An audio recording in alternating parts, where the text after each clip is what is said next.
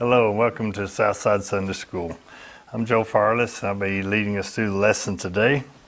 If you'd like to uh,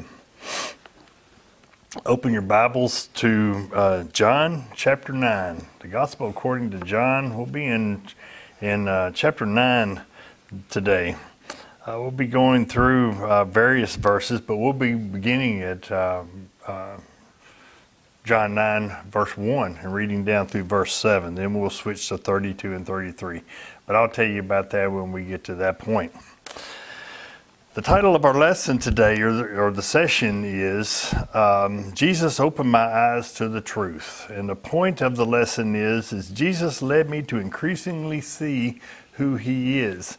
We're going to see today, uh, it's the story of the blind man that Jesus healed on the Sabbath and um, uh, healed him of his blindness. Uh, when uh, we'll get into the story in, in just a moment, but I want to uh, uh, want to ask you: uh, when you became a Christian, were you um, fully born? I'm not talking about our salvation and everything. Certainly, through our salvation, Jesus Christ, there's nothing left for us to do uh, much like the thief on the cross. Uh, Jesus told him that today you'll be with me in paradise. But I'm talking about, um, take me for instance, okay? When um, I was born again, I had a lot of uh, uh, living under my belt. I'd followed the ways of the world for a little while, and the truths of the scripture were just being opened to me. Um, and I learned about the Ten Commandments, although I'd heard about the Ten Commandments, but I'd learned more about the Ten Commandments, and it was it was a little bit scary. So I tried to conform my life to following those Ten Commandments, which, of course, as we know, is an impossibility. They're pretty much impossible, or they were for me anyway. But then I ran across another verse of Scripture was taught that in that while we were still sinners, Christ died for us. And understanding that uh, that we are, that we will continue to sin, that our world even um, is is filled with sin, and we just can't get away from it. Uh, the truths of the uh, fruits of the Spirit begin to be more and more real to me, and how Jesus wants us to love and that we serve a God of love and that He is light and in Him is no darkness at all. And it is not I who live, but Christ who lives in me. All these things helped me to help us to grow as a Christian and, and to deepen our belief and to deepen our understanding.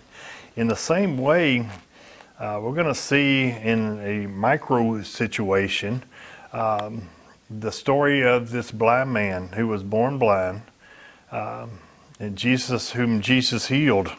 And uh, we're going to see him come in degrees to understand and to know who Jesus is and to finally worship him. So, um, before we uh, get to the, the scripture and we read, let me uh, lead us in a word of prayer.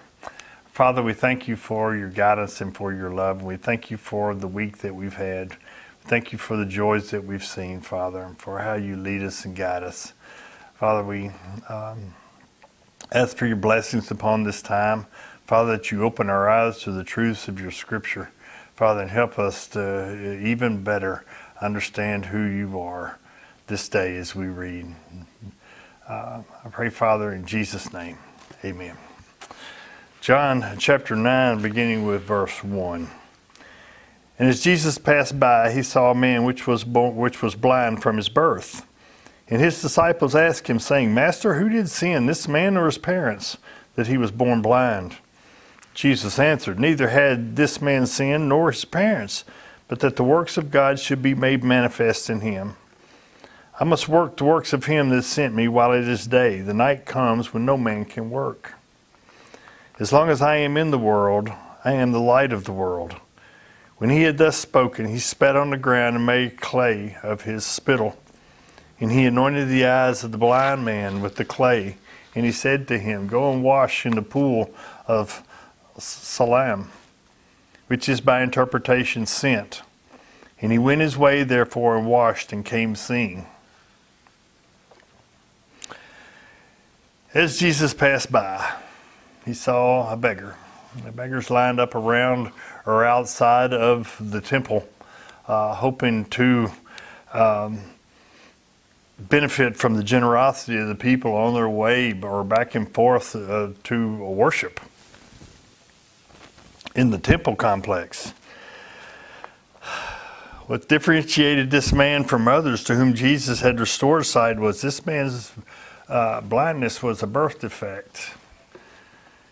Visual problems, they say, are common in this area uh, as they arise from particles of blowing sand, the bright sunlight.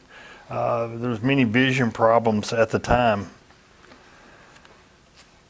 But seeing him prompted a theological uh, discussion from um, from the disciples, less in a compassionate way and more in a doctrinal sense, uh, or as a form of condemnation. Master, who did sin, this man or his parents, that he was born blind? You see, there's got to be a reason, right, for the suffering of an individual. It brings up a lot of questions that we still have today. Why do people suffer? Is it a consequence of disobedience? Is it caused by an unjust God looking for opportunities to punish people for their failings? Or even the failings of their parents? We'll all be doomed in that respect. The Bible does not make a connection, or does make a connection between sin and suffering, but it does not connect all suffering to sin. You see, we live in a fallen world. Uh, Romans chapter 1, it says, even, even very nature groans and waits for uh, the return of Christ, for that final redemption. But the ideas still per- persist in our day. We heard more than one people say, haven't you, what did I do to deserve this? Maybe you've said it yourself. Was it something that I've done? Is it something that my parents did? Why am I going through this? Well, before we jump to conclusions, we need to look at all the facts and not just make an assumption on the general principle uh, that that because of something there's a cause and effect. Like I said, we live in a fallen world. Birth defects happen. Bad things happen to good people. Even the good people suffer. We're not told how the disciples knew this, this man was blind from birth, but apparently they knew. The question may be a little nonsensical to you. Was it this man who sinned in his womb? In his mother's womb? Or did the parents sin to cause this blindness to fall upon this man? You know, a lot of times the um, the problems that we have with our offspring, with our families. Sometimes we wonder if it's some sin that I'd done in the past that caused this problem that they're having. I'm being punished for something that I did. But Jesus said, Neither has this man sinned nor his parents. It was not the outcome of sin on anyone's part. Suffering is not always related to personal sin. Jesus continued his answer but that the works of God should be made manifest or brought to life in Him. He will be a living, breathing example of the power of God. So it may bring some more questions. Especially in this case, was this man born blind that God's work of healing might be worked on him? Does that mean that God calls the blindness? No, it does not. Miracles do happen. Tragedies do happen in our life. But it would, this, in this case, provide an opportunity for a work to take place that would make known the power and the glory of God as it existed through Jesus Christ. That's what he was saying. I must work the works of him that sent me while it is day. The night comes when no man can work. In another way, that it could be written, but that the works of God should be made manifest in him. We must work the works of him that sent me while it is day. The night comes when no man can work. Jesus did not deal with the cause. That wasn't the problem. That wasn't the issue. He only acknowledged the facts of the situation. Debating the cause would be useless. The fact was that the man was blind. The real concern should have been and was with Jesus what can be done about it? Here's a ministry opportunity, an opportunity to see the mighty work of God that brings glory to His name. Opportunities must be seized. Sometimes we shake our heads at the, um, the problems of others when we can actually do something about them. Not in this case, but you understand what I'm saying. Jesus seized the moment. He took charge of the situation. He would give man, this man, sight, who in turn would give glory to God. When we do things, even on a small scale, or a seemingly small scale, compared to this this miracle that Jesus performed, do you give glory to God? Or do you say that this is from our church? This is because uh, I'm a good person? We just felt like that you needed something. Or do you give glory to God for everything that you do so that that can be passed on? So that the benefit that the, that the, the, uh, the one receiving your gift or the gifts that you have, receiving what it is that you have, would glorify God and not man. Jesus had said in, in John chapter 8, verse 12, He said, I am the light of the world. He contrasted Himself with darkness, or with the darkness that characterized the world. This mass of humankind, our commentary writer writes, who stands alienated from God and hostile to the cause of Christ. Jesus came to overwhelm the darkness with life and light. In John chapter 1, verses 4 and 5, he writes, the Word of God says, As long as I am in the world, imply a time when he would not be here. I must work the works of him that sent me while it is day. The night comes when no man can work. There will be a time when I would not be here. And he would entrust the message of light to his followers. But Jesus went into action. Enough analysis. When he had thus spoken, he spat on the ground and made clay of the spittle. He turned saliva and dirt into an ointment. He anointed the eyes of the, the, the blind man. Why he used this, this method is not explained. We just need to take it for what it is. Jesus then instructed him to go and to wash in a pool, a common pool at that time, wash it off water the man was sent, and he went his way, and he washed, and he came away seeing. The healing was not found in the saliva, it was not found in the dirt, it was not found in, in the, the muddy ointment, neither was it found in the water of the pool. Healing was the work of the Lord, affected by the obedience of the man. And see, the man could have stood up. He didn't know Jesus from anybody, and he could have stood up and uh, simply scraped the mud off of his eyes and shook it out, shook his head, and extended his beggarly hand for another uh, gift. But that's not what he did. He did just exactly as Jesus told him to do.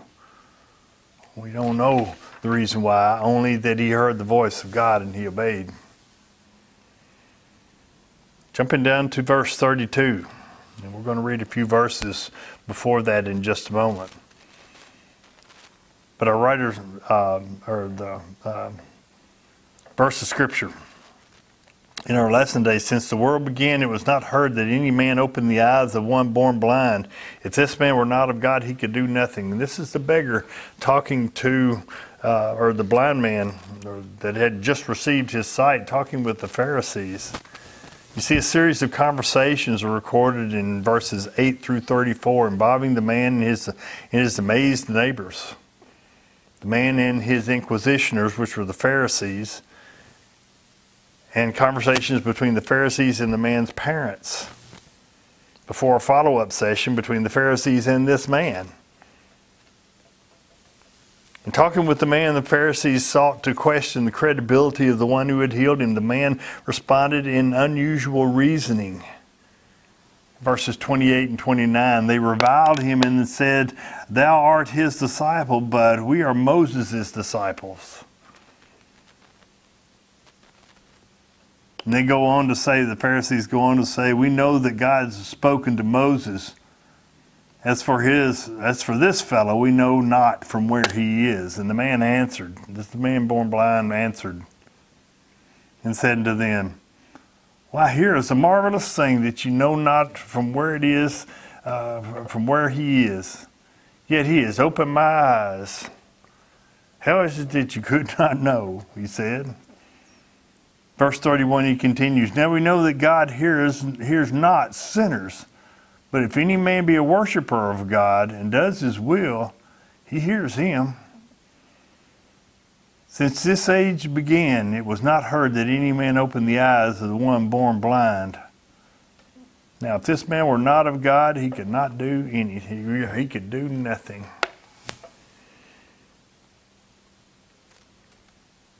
How bold was this low life beggar to stand before the Pharisees and try to teach them? These paragons of righteousness. He noted what happened. It was an amazing occurrence, and even more amazing that the Pharisees didn't know this healer. And he said, What have we here? How is it that you, being so wise, did not know this man? He had opened the eyes of the blind. The Pharisees had called this called him a sinner, verses in verses 16 and in 24. Originally, the man responded by saying he was in no position to make that judgment. However, the man perceptively next raised the issue with the Pharisees that they could not deny because it was part of their own theology.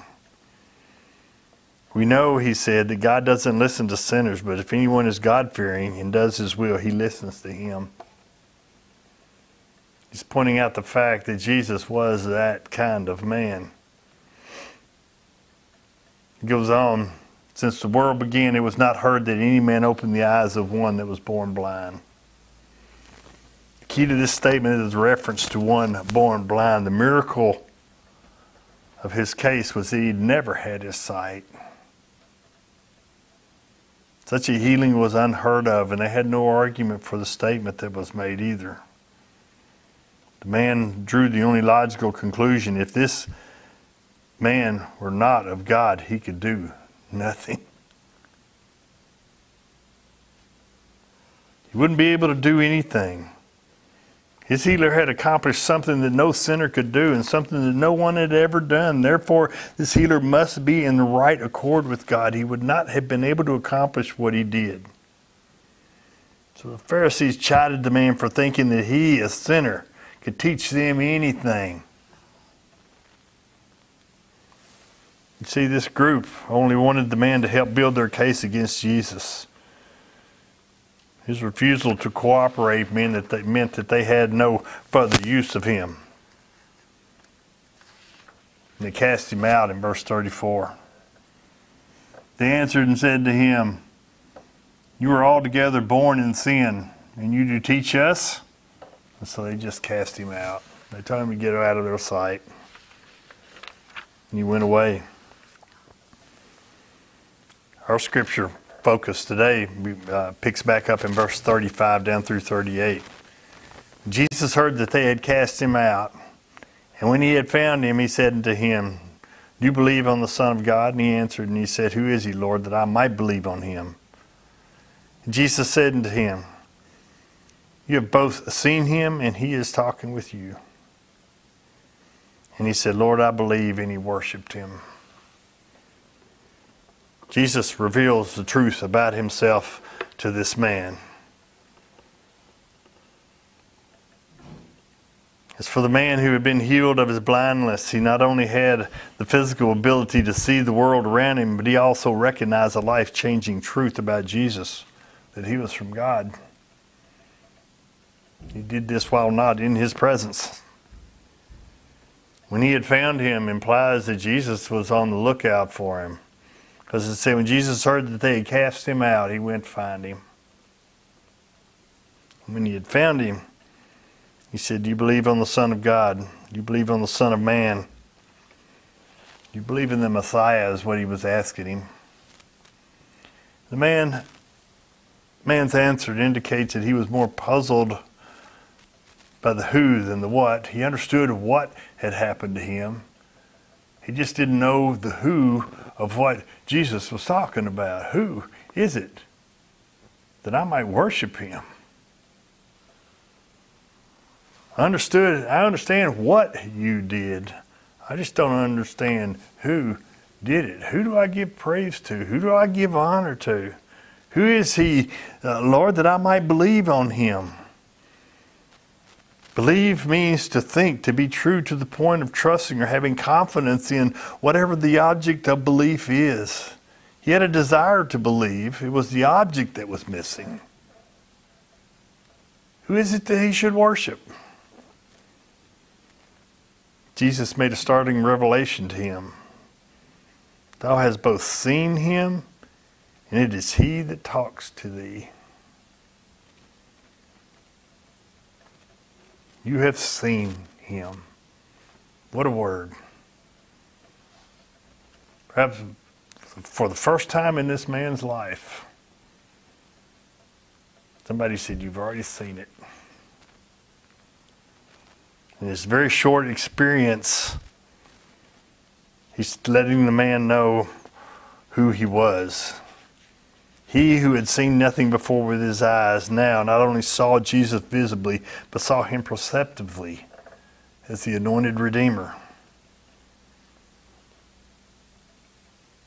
Just as God revealed himself in Jesus, his living word, he reveals himself through his spoken word and through his written word, the scriptures to us. He said, Lord, I believe. And he worshiped him there kneeling. Falling prostrate was an act of homage and, and, and uh, obedience to show respect, to show honor, to affirm the superiority of the one being worshiped. He fell at his feet. Our commentary writer writes Note how the man's understanding of Jesus had evolved. At first, he didn't appear to know who Jesus was, then he learned his name. Later, he professed him to be a prophet in verse 17. Then he confessed he believed that Jesus that he confessed he believed that Jesus came from God. Verse 33. And finally he worshiped him as the Messiah. So even if he does not fully understand the significance of his confession and homage to Jesus, he is accepting Jesus on Jesus' own terms. And he worshiped him. He understood. He knew.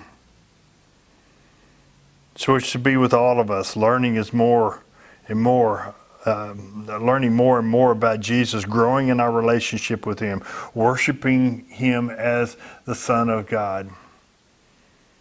you look back over your life, even though it may not have been days since you've accepted Christ, but as you look back over your life as a child of God, as a worshiper of Jesus, salvation that you taking into account the salvation that you have. Have you considered what Jesus did in your life?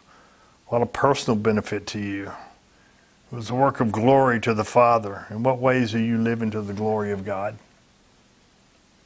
In what ways are you living to the glory of God? We can see that general progression from maybe not fully understanding who Jesus was to accepting him as Lord and Savior to beginning to understand the, the truths of the scripture that, that we are not supposed to live in a certain way, but we are born to newness of life. And so, how do, how do we live this brand new life? We're like little children.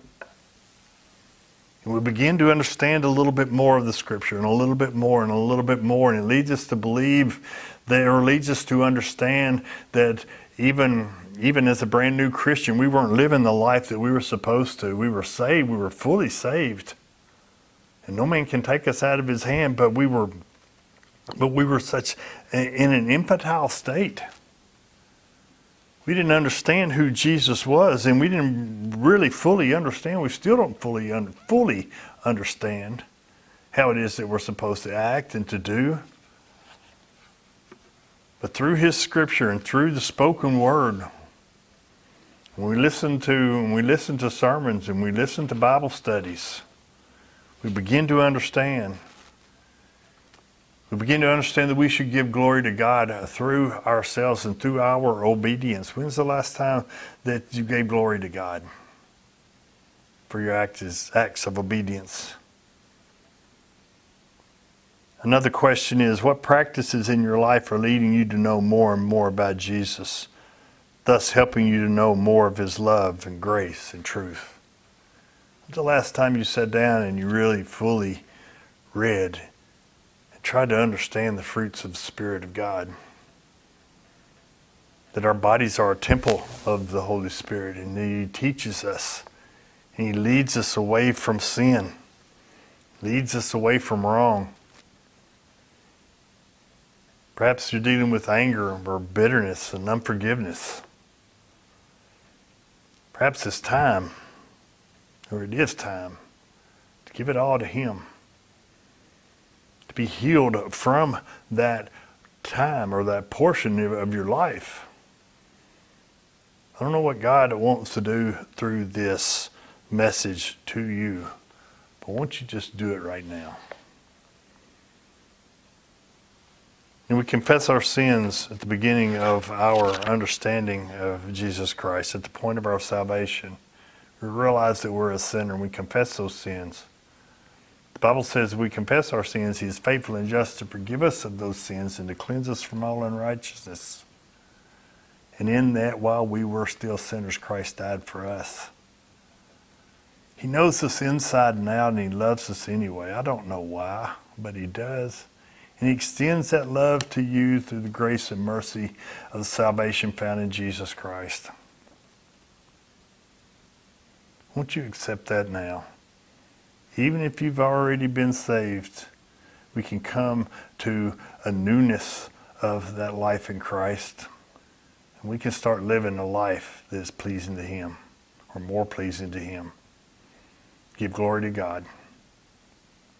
Let's join our hearts in a word of prayer. I want to thank you for your attendance today.